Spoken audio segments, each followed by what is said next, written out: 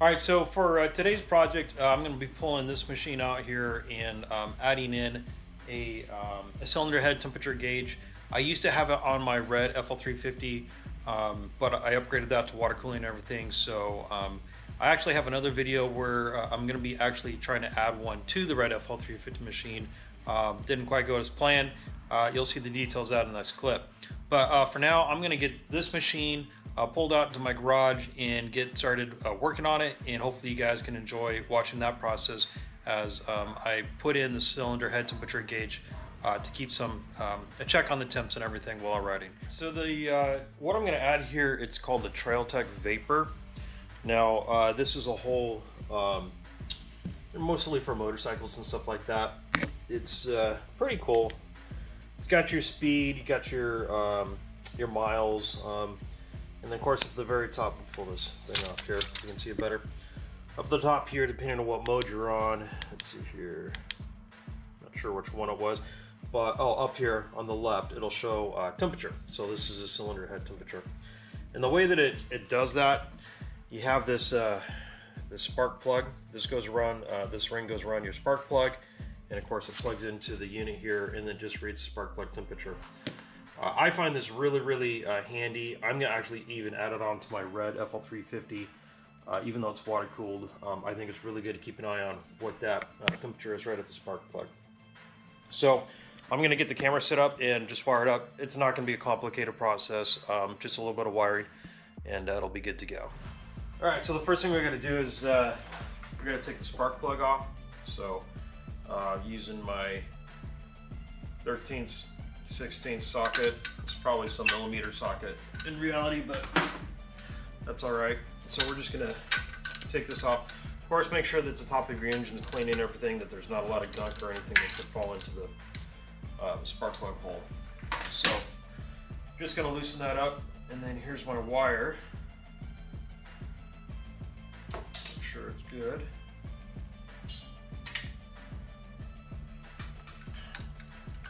Take this off.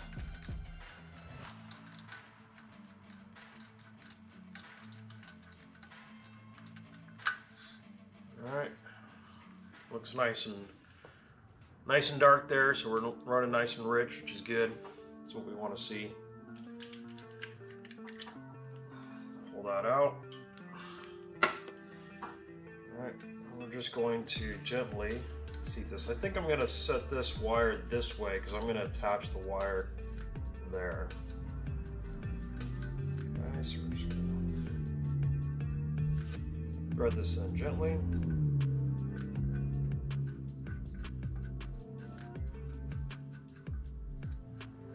Just like that.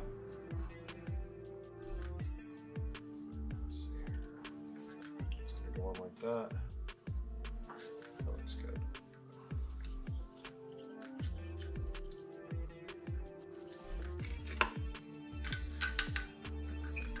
Socket.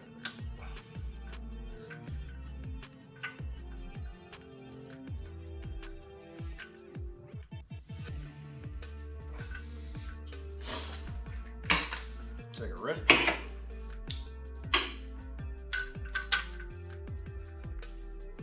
Tighten it down. Okay. So then we put our spark plug wire back on like that nice and tight. Okay, then we're gonna get some zip ties and stuff. I'll uh, grab those in a second. we're just gonna zip tie up this wire so uh, it doesn't flop around or anything like that. All right, so we got our, our zip ties here and uh, I'm just gonna run my wire right along my spark plug wire just like this.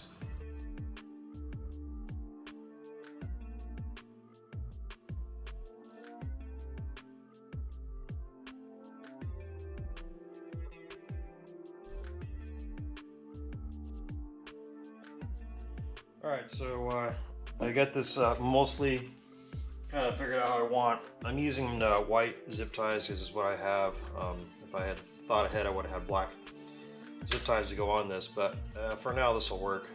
Um, just running the bar uh, through this tube. Um, this this wire is not real thick, and um, you just I could have kind of run it through here and up, and then kind of hang it out, but I was afraid that if um, a foot or something caught in it, it would just rip the wires. So I'm just going up along this bar. Um, not the best kind of routing and everything, but I think I'm gonna live with it. So at this point, all I gotta do is just plug this in. There's multiple sensor here. This one just clips right in. And then uh, run some wires up here. And uh, we should be good to go. Actually, I think I wanna reverse this a little bit.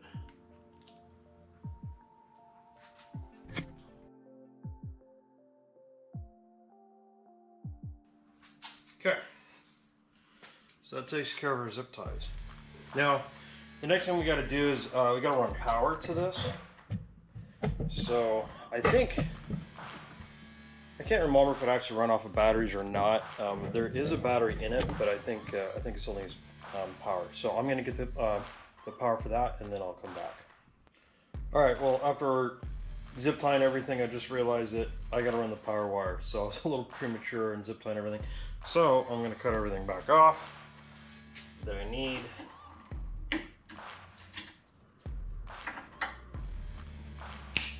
It's a good thing zip ties are cheap.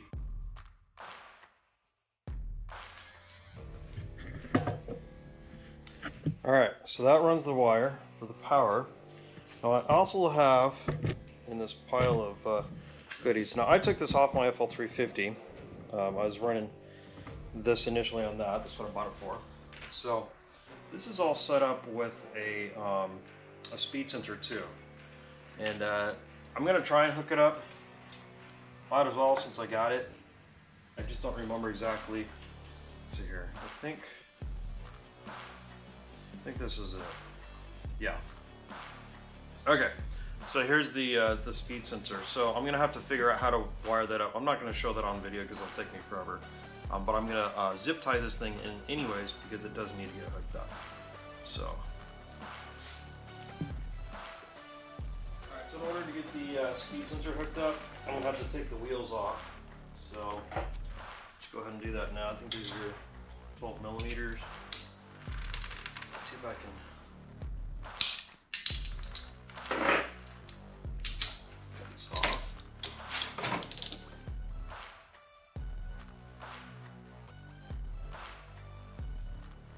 so the first thing I gotta do here is I gotta put on uh, the sensor bracket and um, I gotta readjust this a little bit because it was set up for my other machine. So what we're gonna have to do is back this off. 15 millimeter.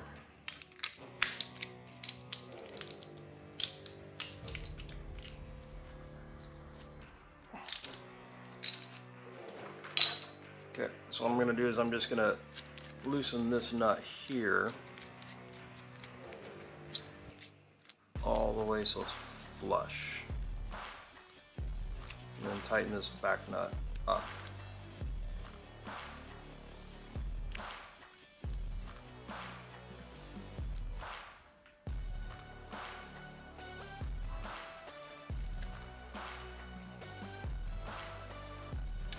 Got some dirty thread, so I'm gonna have to clean it. Okay, so I have uh, I have this loose now. I'm gonna put it back on my bracket. I just grabbed some random pieces of metal, or I think this is from an old door jammer or something like that, but it seemed to work fine. So I'm just gonna use it again. Work fine on my 350, it should work fine here. So the sensor just kind of goes up there, and then we're gonna tighten this down. Like that.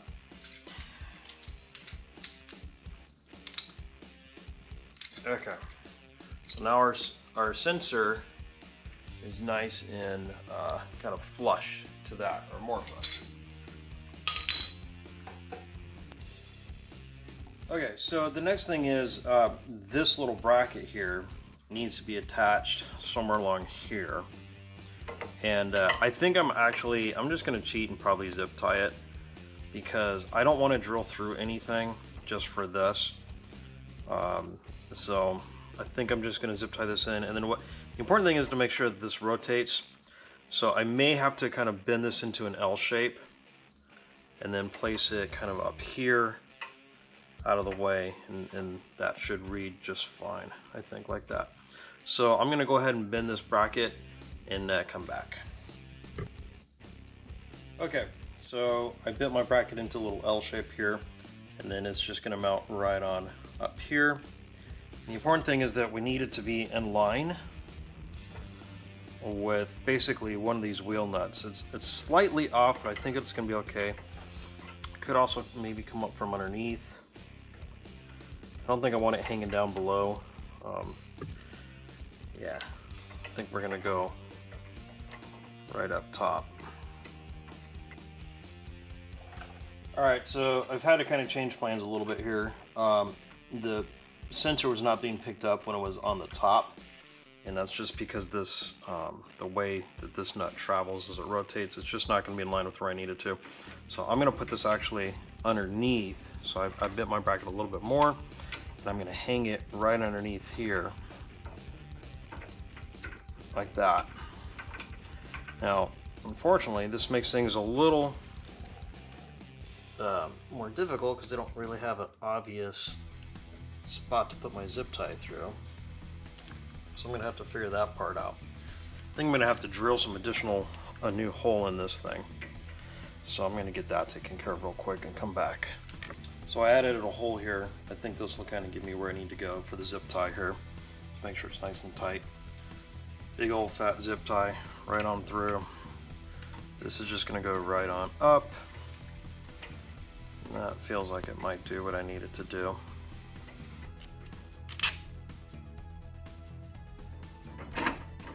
Okay, I think that might do. So let's put the wheel back on. Hook up our sensor real quick.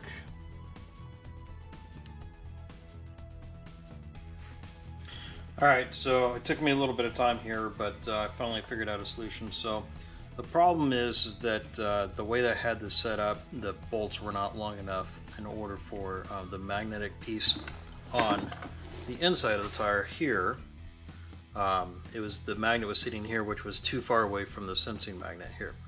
So uh, what I needed to do is come up with a solution. So what I did is I found my own bolt here and I drilled out the top and I can place in another magnet that I happen to have that fits just right to make my own uh, sensor. Now, I'm going to glue this. I don't have any glue yet. I'm going to do that off camera and everything to make sure that it stays in here, obviously.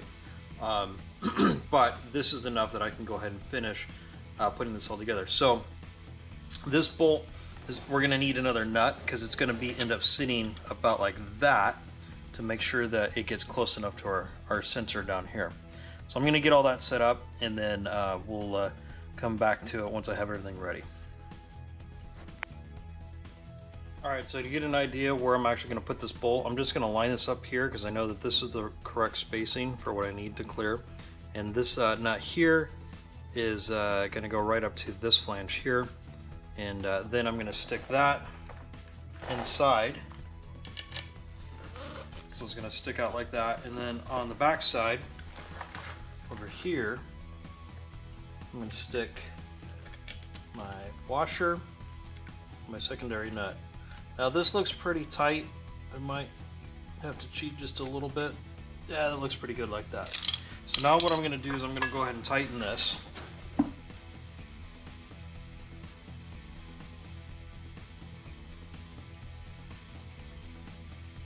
Alright, so uh, I had to make a few adjustments. The, the bracket was just a little bit in the way, so I've been it out of way. But I think we're just about there now. So what we're going to do is go ahead and put on these wheel nuts over here. Tighten things down.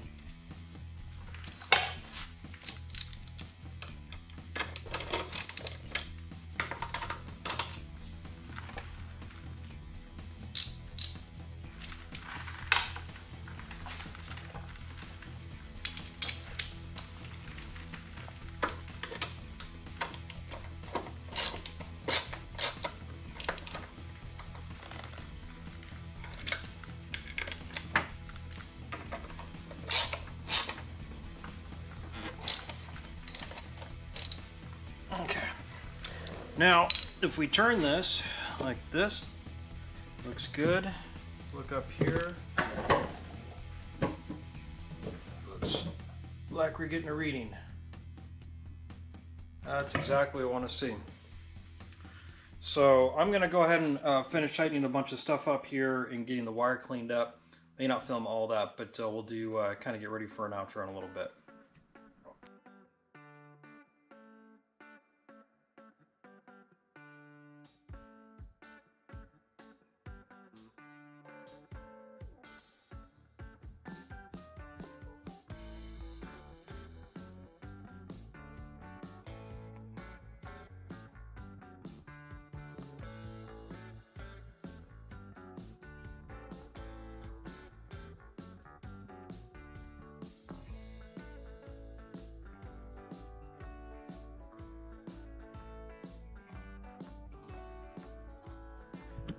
All right, folks. Well, uh, there you got it. It uh, took a few, uh, few stops and starts here as I try to figure everything out. Um, thankfully, I think I got it all uh, buttoned up. So, uh, just to kind of recap, we got our uh, Vapor, um, Trailtech Vapor sensor here, and so I have a cylinder head temperature sensor over here, and then just speed. And what took all the time was actually hooking up the speed. So if we turn the wheel here, you can see we're actually reading. So that seems to be working well. Uh, the wiring and everything, uh, it's not complicated or anything like that. It's pretty easy to install. It's more just kind of the routing the cables and then the speed sensor on the wheel. Uh, it took me for a little bit of loop. But uh, anyways, we got to figure it out, got it wrapped up. So that finishes the work on the FL250. Uh, next, I'm going to get started on the FL350 uh, and let's see here, putting in a cylinder head temperature gauge on that. So I'm going to get the FL250 pushed back into its right spot so I can get the 350 out and get started working on that. So with that, uh, thanks for watching and we'll catch you guys in the next clip. Take care.